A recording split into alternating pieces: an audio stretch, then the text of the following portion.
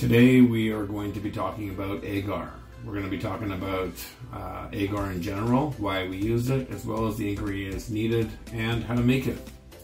So um, for agar, I've just been using two, I know they say not to do it, but two mason jars. So First thing is uh, we got three different ingredients. We've got uh, agar agar powder. We've got our dry malt extract, as well as the nutrition, nutritional yeast. And the proportions are 20 grams of the barley malt extract, 20 grams of the agar powder, and 2 grams of the nutritional yeast. So 20 grams of the agar powder, Sorry, and this is, uh, these measurements are for 1,000 milliliters of distilled water. And uh, 20 grams of the extract. And 2 grams of the nutritional yeast. All right. Now we're going to just uh, dump that in the pot. We're going to mix that with our 1,000 milliliters. I had a bigger measuring cup that did 1,000 milliliters, but I dropped it on the floor and broke it. So we'll just do two 500 mils. And another 500. 1,000. Now we're going to turn that on. You want to bring that to a boil and stir it regularly because you don't want it.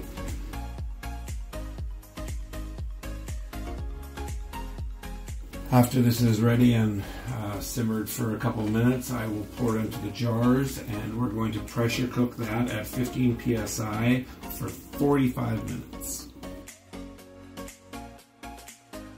you grow your agar in a dish, and as it grows out, you look for the strong parts of it and cut them out and transfer to a new agar dish in the center and let it grow out again. And you continue to do this a few times until you get a monoculture where it's growing out from the center in a very uniform pattern. Um, that's what's the most important through my travels, I've learned that if you do a few different transfers of the strongest part of your growth in an agar dish, you do end up with a much stronger, uh, faster colonizing, faster rooting strain. Alright, so we're at boiling point. I'm to just turn it down for a minute. I think we're pretty good. I'm to turn it to simmer. Now, a lot of people are adding food coloring and to their mixes um, for many reasons. It does look more visually appealing. I use it specifically to help define um, one batch of agar to another batch of agar because it's easy to tell them apart with the difference in color. So for this batch here, I'm using a little bit of red. It's a little frothy, but uh, seems to be well mixed. So I've got the 23 quart uh, Presto, not Presto, Tefal uh, pressure cooker going here. I like this one specifically. Um,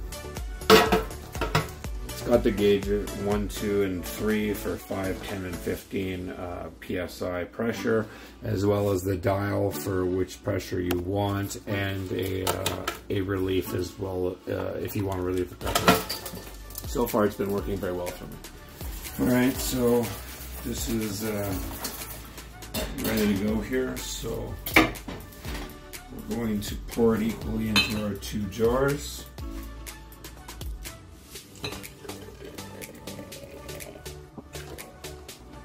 Now I want to pour as close as I can to the same amount in each jar so that during, after the pressure cooking, during the cooling, they both cool at more or less the same temperature.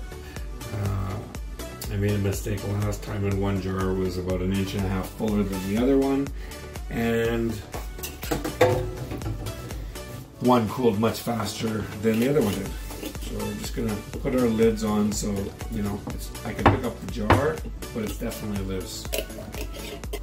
Set it to number three. We're gonna turn it on high We're going to let that get up to, uh, we're going to leave it on high until it gets to 15 psi. When it gets down to 15 psi, you want to turn it down to, depending on your stove, maybe medium or six uh, for a few minutes. And then again, keep turning it down until um, you want to turn it down as much as you can until the um, pressure starts to drop a little bit. So you you only want it as high as you need to to maintain that 15 psi pressure. All right, guys, welcome to the pour. So for this, I got my face mask. I have my spray misting bottle of alcohol.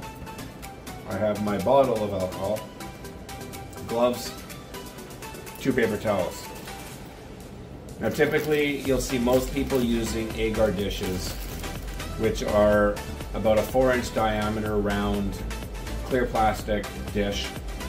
That's about a half an inch thick. And that's what you would typically use to grow out any kind of a culture in, whether it's mycology or otherwise. I saw a couple guys on YouTube who were using these cups. Now the plates can be very expensive when you're going through a lot of cultures. So they were using these condiment cups, which you would get at a fast food restaurant or a takeout of some sort. You know, they fill it up with your ketchup, mustard, whatever. Um, and they were using these things. And I've been using them for like a year and a half. Uh, I started out with the plates, and it's a very expensive uh, thing to keep going through. So I saw this and I switched over. It's been a year and a half. And I have like a 99% success rate. I, I have almost no contamination ever. Um, so they've been working absolutely great. Just get them from the dollar store, packs of 20 for like a dollar 50. All right, so I've got my jar of agar that has finished sterilizing in the pressure cooker and it's currently still very hot. I use just a laser temperature uh, gauge and works great so we can see that that's, that's still 143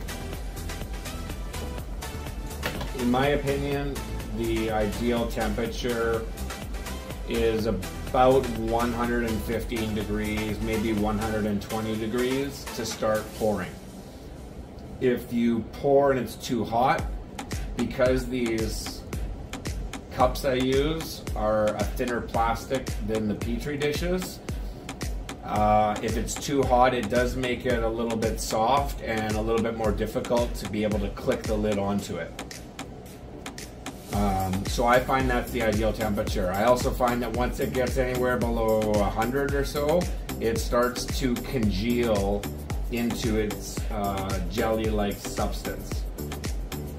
So you also don't want to wait too long. Small tip, if you do happen to wait too long doing all your prep and it happens to cool down too much, just take it in a pot big enough on the stove and put a little bit of water in the bottom of the pot put this in and put the lid on, bring it to a boil, turn it down to medium, and just leave it in there for about 10-15 minutes, and it will get it back up to a higher temperature that you can back your way back down again to the 115 or whatever works for you. So in the meantime, let's get our cups ready. So we'll use our first paper towel. This is for just spraying things. I like to just take the bottle and pour it out to soak the paper towel completely. Now we're going to wipe down our whole space. I like to just flick my filter a little bit to make sure if there's any bacteria that have settled on there while I wasn't using it.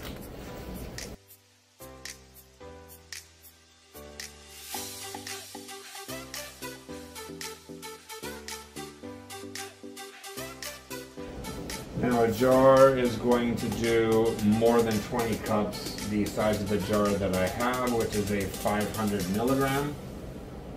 And it's almost all the way full. But at a dollar fifty per package, oops, I'm gonna clean this first. I can't work while I talk, clearly.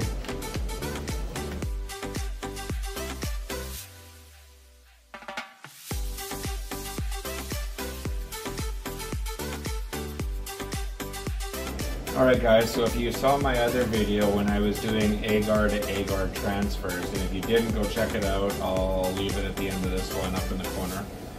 Um, but I like to stack them up. So on top of the ones I took the culture from, bottom one is the new culture.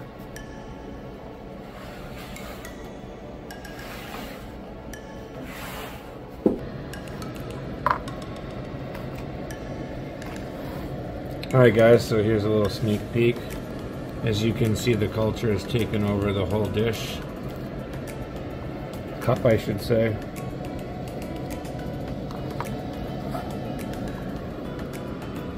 This one is a little bit smaller so you can tell it's not growing as fast.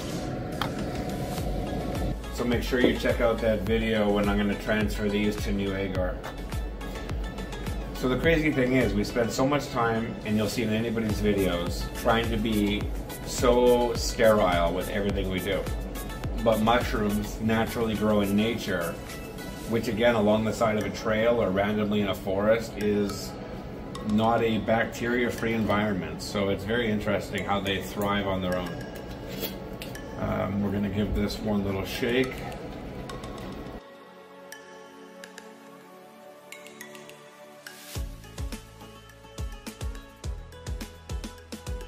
So there are better jars to to use, and I really need to get some because I don't know if you can see, but I keep spilling it everywhere.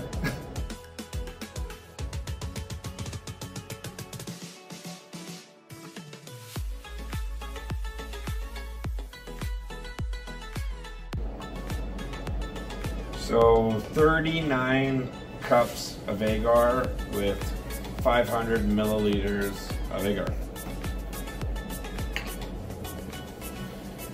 Alright guys, so I'm just to leave these here stacked up in front of the fan overnight